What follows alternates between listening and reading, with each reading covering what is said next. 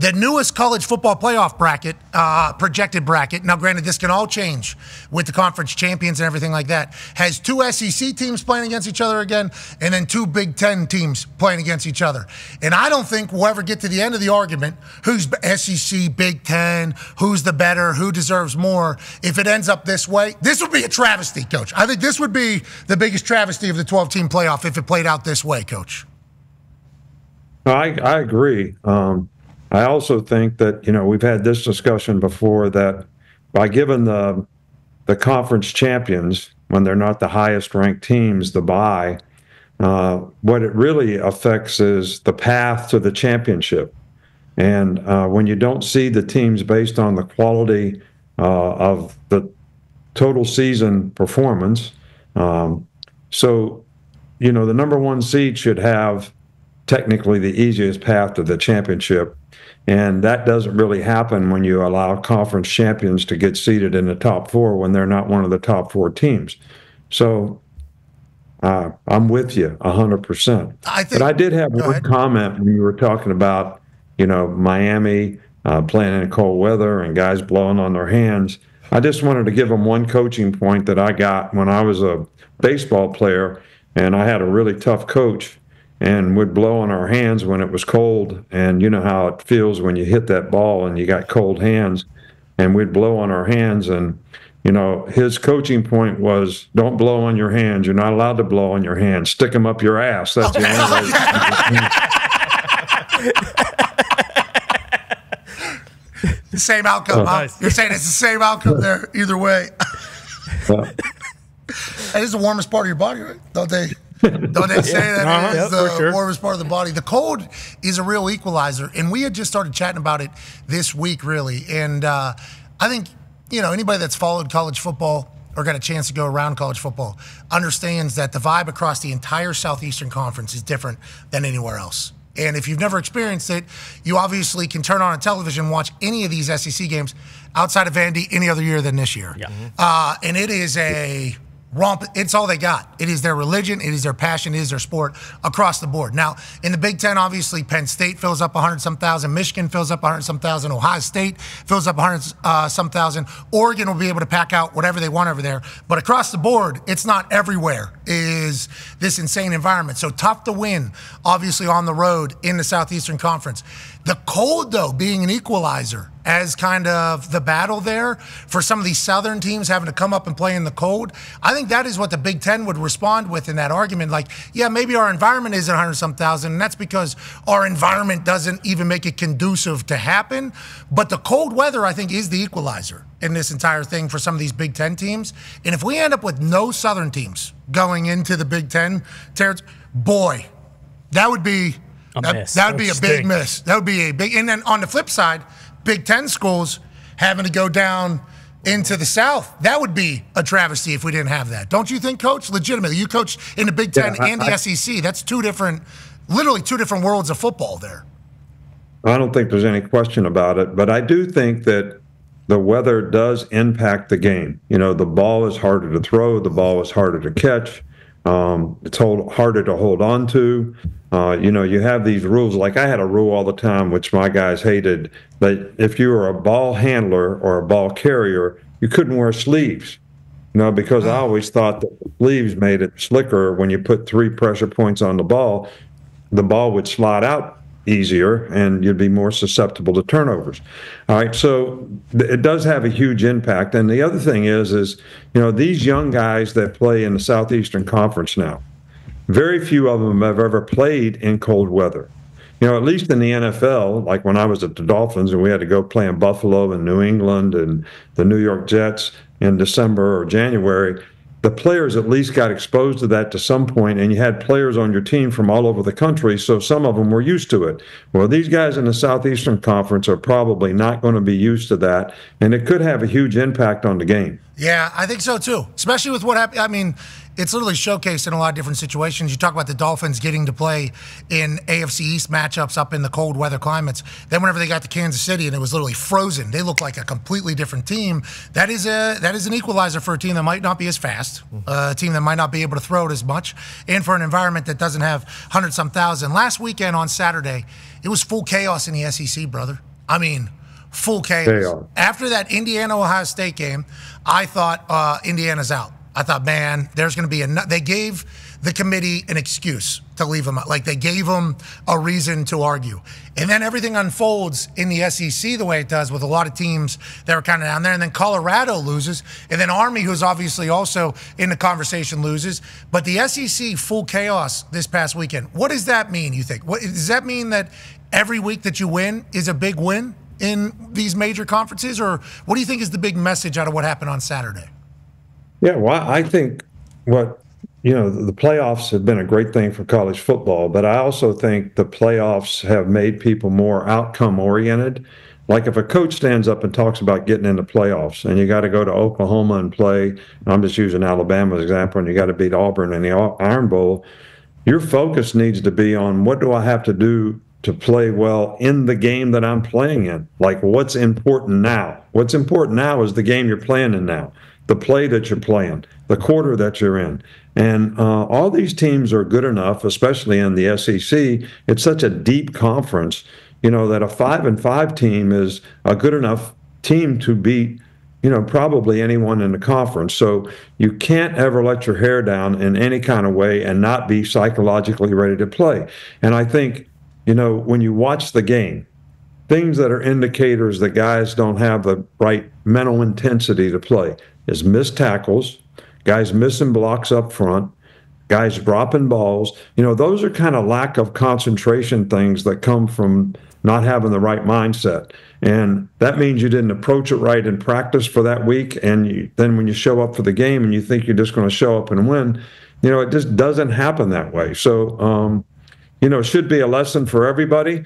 But I think we have more roller coasters you know, in college football right now than we've ever had before. I think part of that is is the players are temporarily committed.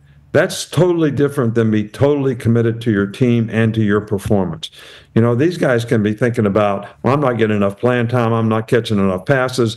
Where am I going to go next year? I mean, all those things are distractions in terms of what your performance is and what your focus is on the task at hand and what your commitment to it is. Yeah, because you're not really playing for school. Not, I'm not saying this is every, not everybody, not everywhere, because obviously there's some places that have people all in playing the right way. Oregon hasn't lost. Obviously, they've had no hiccups. There's other schools that are dominating and everything like that. But uh, we were talking about this, uh, I think, with Aaron yesterday about him catching up with his Cal teammates from 2004, 20 years ago or whatever, and they started telling stories or what it was. And he was like, it was an immediate reminder that we were like playing for each other, you know, like, and that was what college always used to be. College always used to be that way. I think that's why a lot of us uh, older guys, we're old, screaming at the clouds. Like when these kids started sitting out of bowl games, we understood the business decision, but it was like this is one last time with the boys too. Like it, it, was almost a, it's a completely different mindset, and I think it's all because what the world is right now. So I don't hold it against them. But how do you get people to stay committed to team? I don't, I, I don't know. You know, and the boys, I'm not 100 percent sure. Yeah, well, I, I don't think there's any question that I agree with you 100 percent that what we've created is a system that promotes self-indulgent behavior. Uh, in other words, how does this affect me? Uh, and you know, we used to be on a team where the first thing you thought about is how does it affect the team? And if you made a mistake or whatever, um, it, it, it killed you because you were letting your teammates down.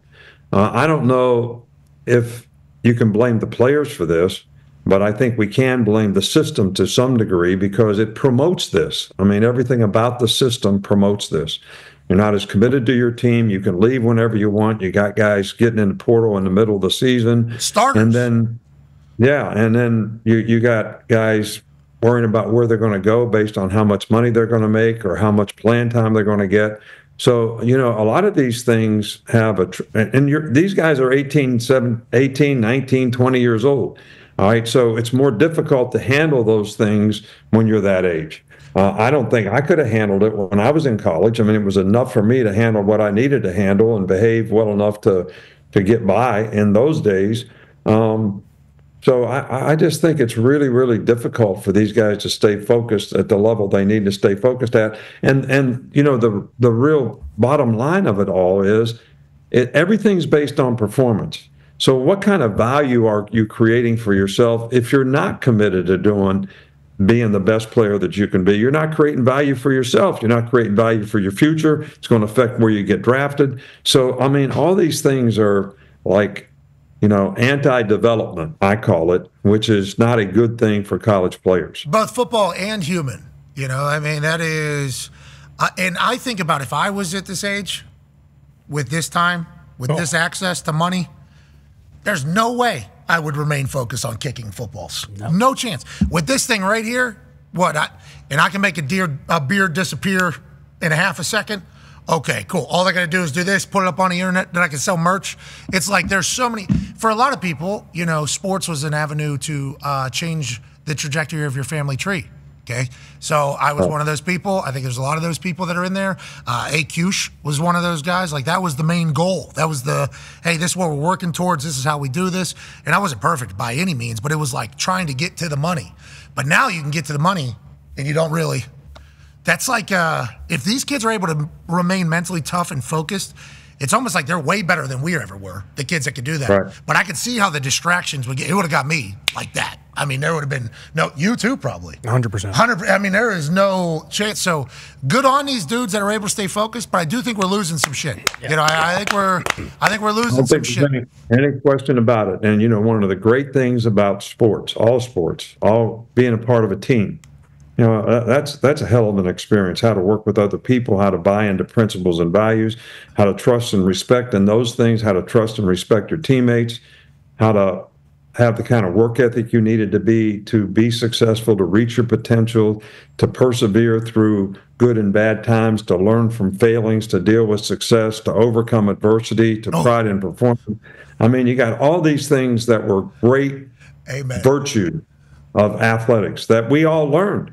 and I, I, I, if I didn't play on teams when I was growing up and in college and have the opportunity to be involved in a team, I, I could have never had the kind of successful career that I had, you know, as a coach or even in business or anything else, because those lessons are are not something that you can learn everywhere in our society, but you certainly can learn them by being a part of a team. Yeah, everything you just said there about sports is why we love it. You know, and that's why that's why that's we why love we love it. I mean, and I don't know if you mentioned it there.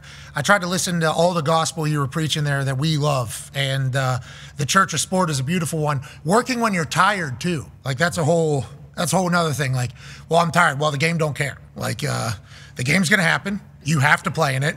So you either right. figure the shit out or work through it, or you're gonna not be. You're gonna get embarrassed. Yeah. So it's like all those things I think are crucial to development of humans. And to your point, without it, I would nowhere be nowhere near the human. I wouldn't be. I'd be. I'd be flipping. You know, the driving force that we all had too, Pat, was none of us wanted to be irrelevant. You know, nobody wants to be irrelevant. I mean, if you think back when you were kids, and we would pick a baseball team, you know, and they put the bat, who gets picked, you know, everybody wanted to get picked. I nobody wanted to be irrelevant. Uh, so now, what is the value of being somebody that somebody wants to pick? I mean, have we destroyed that? I mean, would you pick yourself if if you're out there as a player that's leaving your team after four games or in the middle of the season or whatever? I mean, would you pick yourself? I think nobody they, wants to be irrelevant, and nobody talks about the dudes that just. Uh, they say they're hitting transfer portal, and then guess what? You live there now. Yeah. You know, everybody hears the story of like somebody hitting the transfer portal, getting signed somewhere. Cam Ward gets paid big. He's down in Miami. They completely change their entire franchise. You hear that story. What you don't hear about yeah. is the wide receiver that maybe didn't get enough balls one year somewhere and uh, hits transfer portal thinking that the grass is going to be greener. And guess what? Fucking desert, brother. There's no grass. Yeah. Mm-hmm. You know, so it's uh yeah. it is a it's a wild time in college ball, but somehow you got to remain focused. Coach, there's some teams out there like uh, Texas, Notre Dame, Penn State, Indiana, who a lot of people are saying, you know, they haven't played anything, anybody, or or beaten anyone good yet. If you were on the on the committee and, and say their strength of schedules are pretty even and their records pretty even, what would you look at if you were determining their ranking? Like when you're watching film or something like that, what what would be most important to you?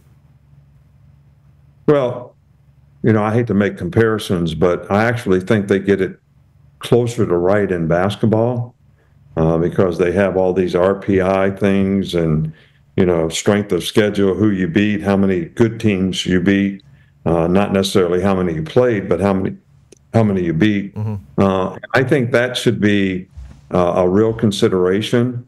But I do think as we boil down to this, you know, like right now, um, hard to reward a team with three losses, um, especially the kind of losses that Ole Miss had and like Alabama's had uh, to, you know, pretty 500 teams, I'm going to call them. So pretty average, you know, teams where, you know, you got, you know, you, you, you got some other teams that maybe they didn't play the same competition, but they didn't lose games to average teams either. So I think that matters. Hmm. And um, the only team that could have an argument to get in with three losses if Georgia actually plays in the SEC championship game, they really shouldn't be penalized if they they would happen to lose the game. They would end up with three losses. But I don't think a team that didn't play in the championship game that has two losses should get in, especially if they played a good game and it wasn't a blowout. So, um, yeah, we want to put we want to put the college well, we want the college football playoff committee. I think Rece does too. Every week he asks them like, "Hey, can you just say that if you play in the SEC championship, you're good, yeah. or if you play in the Big Ten championship, you're good. Can you say that that these are the two leading conferences this year? And they said, we'll just judge. You know, obviously we hold championships in high regard. We will watch how they play in those games. So I think what they're saying, Warde Manuel saying, without saying anything, is like if they look like a good team, we will reward them for being in the championship. But if they get steamrolled Oof. in this thing, it's like it will be held against them. Is kind of we're trying to read through the lines there, but I think they will get rewarded if they end up playing in the championship. I, I think naturally humans in that place right. will reward that. I hope at least. But but the subjective part of this that you can never fix is the conferences are not equal. They're not equal in depth of good teams, nor are they equal in the quality of the best teams. So to give you an example, let's just take Ole Miss. So I stay away from this whole Alabama thing. So if Ole Miss played in the Big 12, what would their record be? Um, they probably have one loss. You know, that, that, that's that's the kind of subjective issues that we have in college football that's never going to change unless we take the best 40 teams in college football and put them in a league very similar to the 32 teams that are in the NFL and then the competition level is probably going to be, um, you know, more, e- more equal, so that now you could actually say beating good teams because you're playing good teams all the time. You know, I've always said that we should play all. Nobody should play Mercer. Nobody should play a one double A school. Everybody should have to play these top 40 teams. And then you'd have a better idea of Okay, who, who, who are the best teams here? But consistency and performance means something, and that's why in Ole Miss and Alabama's case, they didn't have consistency in, performance. They lost to teams they probably shouldn't have lost to, so there should be a, a penalty for that as well. But then the counter argument, not that SEC needs more counter arguments, but like in the NFL right now, a week after you play the Lions, teams are like oh and, oh and 11 or yeah. something like that. So it's like you in the deeper conferences, we'll say Big Ten and SEC right now, uh, like big games every week means something too, as opposed to like a big game, JV game, big game, JV game, which some of these things are. And once again, I just got baptized in the college football world like four years ago. So I'm just kind of watching it. But if it did, since it is going to a revenue share model, seemingly going to a salary cap model, is seemingly what everything is kind of going towards. April 8th, we'll get the uh, final ruling on it. Do you think there's ever a chance for that top 40 league to ever happen? That would be a lot of people agreeing to a lot of shit, right? Sankey would have to talk to Petitti.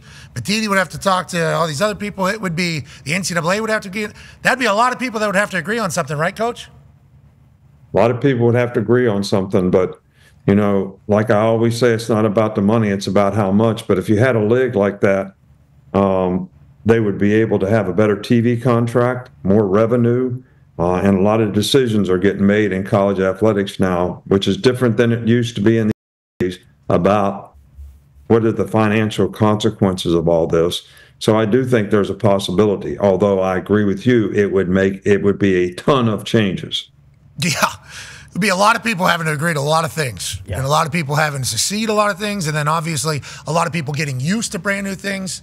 It'd be crazy, and we just we can't lose what college ball is, though. Mm-hmm. You know. But but one of the things that is going to happen too is even if we have revenue sharing, how many actual teams out there can afford to do twenty million dollars to pay players and still be able to function you know, in the programs that they have. So they're either going to have to drop sports or not be able to compete because they can't afford to pay play, pay the players. Jeez, I thought that money was just automatically popping out of thin air. That's what I thought was happening. what the hell? I didn't know that. I thought that money was just showing up. That I actually never even thought about how the money's getting. I'm just like all of them.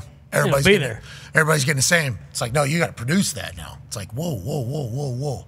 Wild time to be alive. Coach, can't wait to see you down in uh, Texas. Happy Thanksgiving. What are we doing for the holiday? This will be the first time in a long time that we don't have 25 players over uh, for Thanksgiving, which I always enjoyed. Uh, it was a great experience to spend time with players in a non football atmosphere. Uh, but it's also something we're looking forward to for the first time to just have family yeah. to just have your family there. So that's going to be great. But I wish you guys a great Thanksgiving. It's a great holiday. It's time for us to all have gratitude for all the things that we have and uh, not focus so much on what we don't have. So it's a good thing. We're grateful as hell for you.